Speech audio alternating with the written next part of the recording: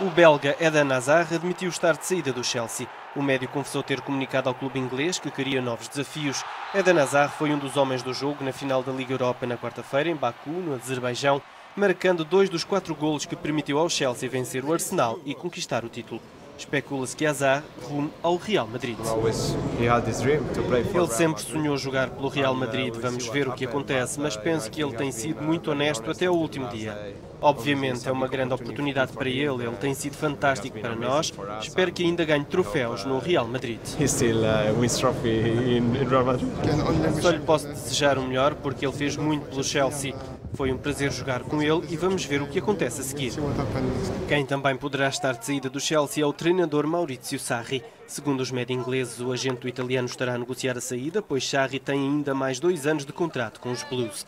Especula-se que Maurizio Sarri vá treinar a Juventus de Cristiano Ronaldo. O técnico foi visto a conversar esta semana com o presidente do clube italiano, Andrea Agnelli.